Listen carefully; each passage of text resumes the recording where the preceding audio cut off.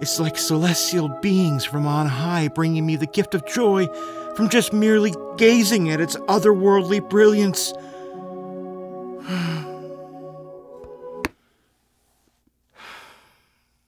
the Sennheiser MKH 416 short shotgun microphone. You know, the one that all the best movies were made with. We're gonna test it out. All that plus all the nerdy stuff coming right up. So, good day and welcome to the Time Preservation Society. I'm Bond. James Bond. Be sure to like and subscribe and hit that bell notification so you can be notified of new content right when it drops. Cheers. Today we're looking at the well-loved and mega classic Sennheiser MKH 416. This one right here. I'm using it directly into a MixPre 3.2 and will be for the entirety of this video with zero post-processing of any kind. This is raw 416 power. The 416 is a supercardioid shotgun microphone that's made in Germany and was originally designed to be used outdoors but can and has been used indoors for decades. Listen to the sound of this thing. Now we're talking. This is literally Pro League. I'm booming with it about a foot away from my mouth right now, and I've purposely left it in the shot so you can see it, just the tip. Though I'm doing no post processing, I might have used a limiter in post. Check the screen right now to see if I did use a limiter. The 416 was first introduced by Sennheiser in the mid 70s to complement their MKH line of innovative microphones. So we'll call it 1975, which was Jaws and the Rocky Horror Picture ago. Man, I remember Jaws. This is me on set with Robert Shaw, Roy Scheider, Steven Spielberg, and Richard Dreyfuss in 74. We were taking a break, horsing around, you know, good times. Anyway. There's a lot of tech stuff that goes with the 416 story, like T power uh, and the RF principle, but I won't bore you with that information. If you want that data, let me know and I can direct you to all that super mega nerd information. I do basic nerd, advanced nerd, and even go as high as mega nerd, but I never go super mega nerd here. Never go super mega nerd. It's a bad idea. Anyway, by the early 80s, all the Hollywood movie sound mixers and boom ops were using the 416 on set. It became such an industry standard in movies that it was referred to as just the Sennheiser, or a Sennheiser, similar to Kleenex or Scotch tape. It's not just its beautiful sound with crisp highs and well rounded lows that attracted Hollywood, it was its robust design, seemingly indestructible. Its RF design allowed it to be mostly unaffected by humidity, extreme cold or heat, or bad weather in general. It is built to last, and I love things that are built to last. I love them. They're my favorite. There's no way you've not heard this mic thousands of times or more. It's been a Hollywood staple for decades. You've also heard it on many voiceovers for TV commercials and also for movie trailers. You know, the in a world things. In a world where all microphones were outlawed, one man defied the odds and became a Sennheiser. Let's have a closer look at it. The 416 comes with this cool 70s style case. Inside the case is the iconically shaped pop filter, a mic clip, and of course the mic itself. The 416 is a supercardioid microphone that sometimes behaves as a hypercardioid with mid and low frequencies. Incredibly directional with a great reach. It's got a frequency range of 40 Hz to 20 kHz with a self noise of 13 dBA. The mic looks and is very simple.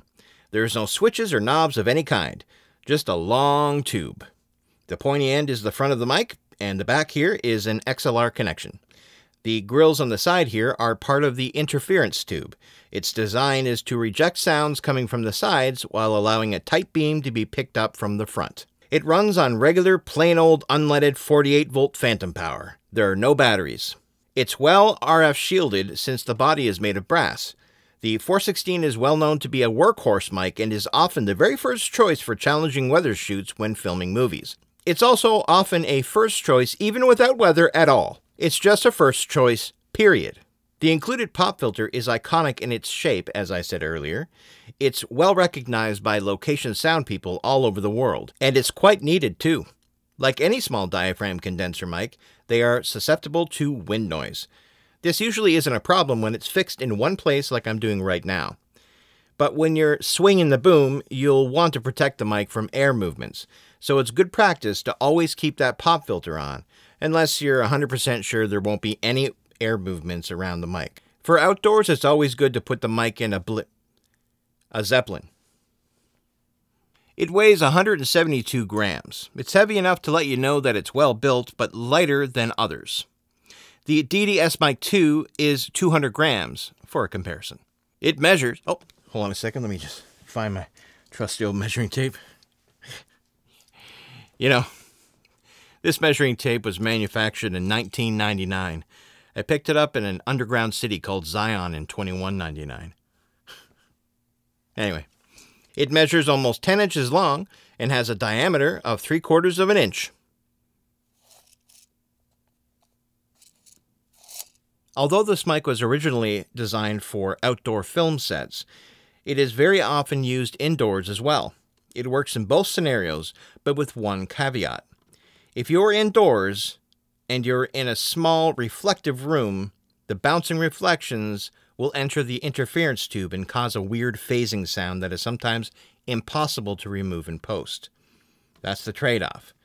It sounds great indoors, but just make sure you don't have all kinds of quick reflections happening close to the mic. For this reason, I opted to record this video on a couch as opposed to the usual table I'm sitting at for my videos. However, if you want to hear this mic with me sitting at my usual table, look no further than my Rode wind protection video, which is right here. I recorded that entirely with the 416, just so you know.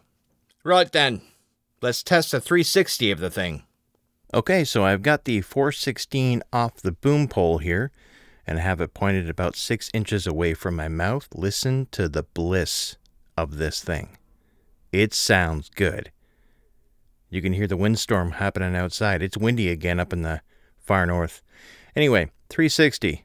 Let's do it. Here we go. We're moving it, and here we are. We can already hear it. Off axis coloration, and this is the side. And we're going to keep moving it, and now we're hitting the rear. Here's the rear lobe. And now we're going to keep moving it to the side again. And uh, now we're going to move it facing my mouth again. So you can hear this thing. I mean, listen to the sound of this thing. I kept the pop screen on it because I didn't want any plosives to ruin this examination. But this is the sound of this microphone. So this is coming from the side, and as you can tell that it's kind of ignoring that I'm doing this, even when I'm this close. You can hear my voice over my snapping, which is rather loud. Watch.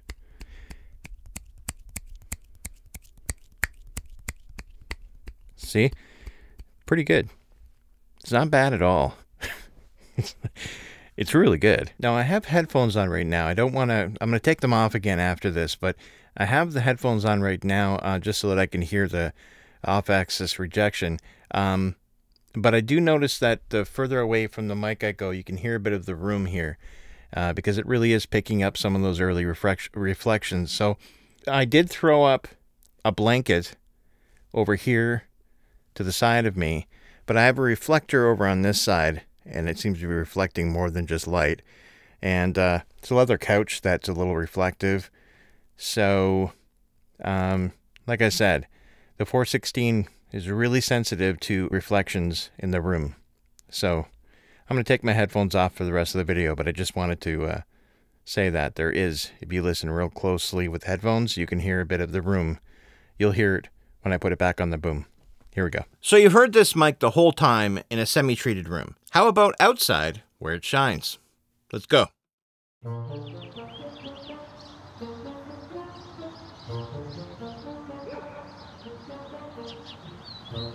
Hey, what are you looking at? I don't know. Thought I saw something. What did it look like? UFO or something? No, no, no. Nothing like that. So what are we looking at? I don't know. I'm not quite sure. So how long have you been standing here looking up? Oh, I just got here myself. Well, I don't think there's anything out there. Oh, yeah. No, it's a blimp. See? Oh, would you look at that? You can tell it's a blimp by its shape.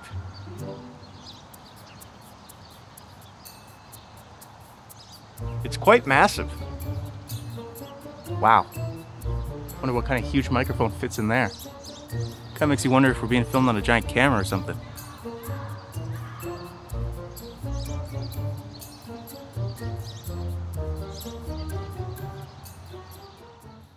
The Sennheiser MKH 416 can be yours for 999 US dollars. It's not cheap, but it's also far from the most expensive. Yeah. Analysis? Come on. Just come on. How could anyone dislike this mic? Crisp highs, tight lows, great mids, robust, resilient, and strong.